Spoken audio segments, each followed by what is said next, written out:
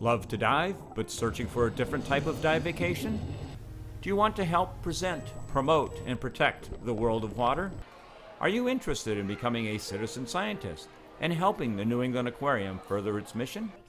Then you should sign up for a New England Aquarium Marine Specimen Collecting Expedition.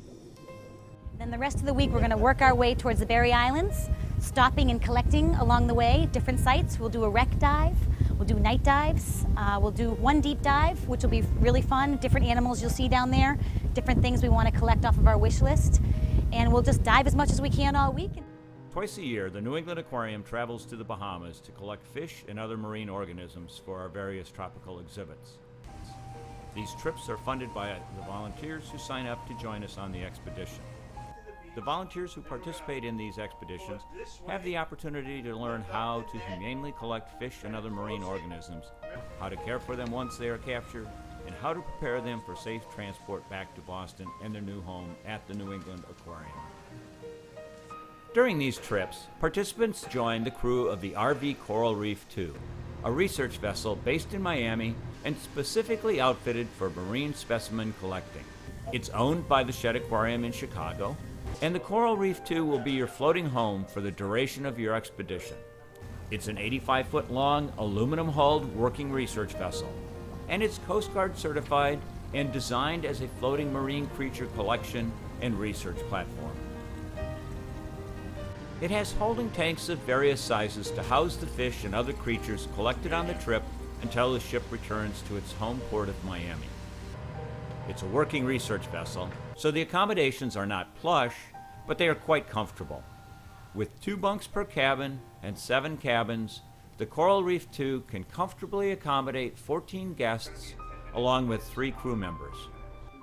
The crew includes two U.S. Coast Guard licensed captains, Captain John Rothschild and Captain Lou Roth, and a top notch chef who also serves as the first mate.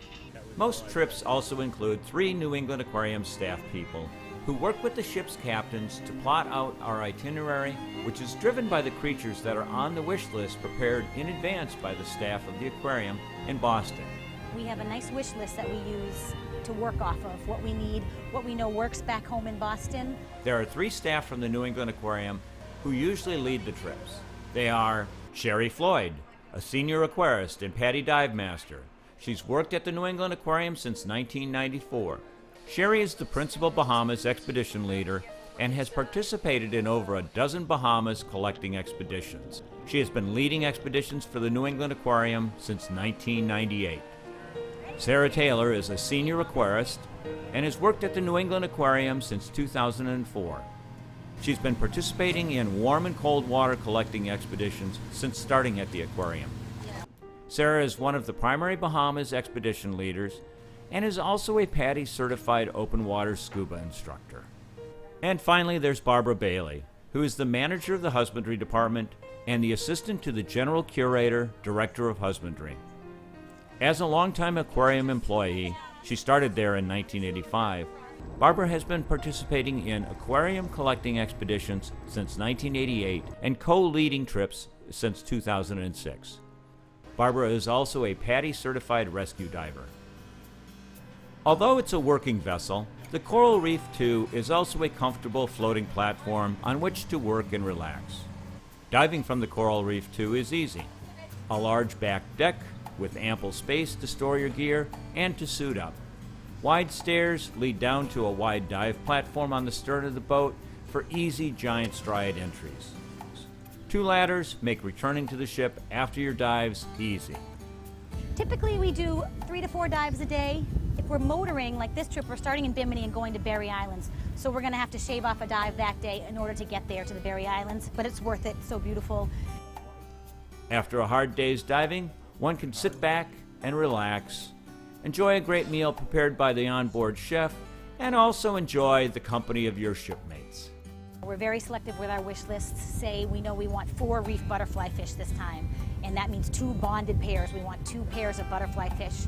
They mate for life. We know we're, we're gonna, if we get one, we have to get the other one. We're not gonna just take one of those fish. We're gonna take both of them. If not, we just let them go. Um, and then we also collect fish for the other other little tropical tanks within the aquarium. So we work with the aquarists back home with what they need. Most specimens are collected using hand nets. It's a method that doesn't overly stress the fish or cause them any harm that could occur with other collecting methods, but it is a bit more challenging. We also use other collecting techniques for specific types of animals, such as barrier nets for schooling fish and beach seine netting for inshore species, needlefish, and many types of juveniles. All the collecting techniques require teamwork. In most cases, two to four people will work together. The team leaders from the aquarium and the ship's captains will provide training in all collecting techniques while you're on the Coral Reef 2. Once the animals are captured, they are placed in holding tanks on the ship where they are cared for by staff and volunteers. The animals have to be fed daily and the tanks cleaned regularly. So, why would anyone want to go on a working vacation like this? Well, here's what a few recent participants have to say in answer to that question. The best part about it for me was the team aspect of being involved in this uh, conservation effort and education effort with the other very experienced divers who were really very instructive, very informal, non-pressuring for me as a new diver with my husband. I love it. It's uh, an overall experience that you can't duplicate with any other type of trip or excursion. Uh, each time gets a little easier for me as far as collecting. It's not as easy as it first looks, but once you get to get it together and, and learn how to catch the fish, understand their behavior, anticipate some of their moves, and when you finally put a fish in the bag and see it in the wells for the duration of the trip and ultimately back at the aquarium, it's a very rewarding feeling, and uh, it gets easier for me every time. The diving was just spectacular. It's so nice to dive and really have a mission rather than just tootling around and looking at things. It's a very addictive kind of trip. What do you like best about it? Um, I'm not the type to just relax on the beach for a vacation, so this really is a lot more. You get to do a lot of interesting things, see interesting dive sites, uh, you learn a lot about fish. Uh, that kind of thing really in- interests me. Is it a trip you'd do again? Yes, definitely. So for me, it's great because it's educational, it's informational, it's team building, it's uh,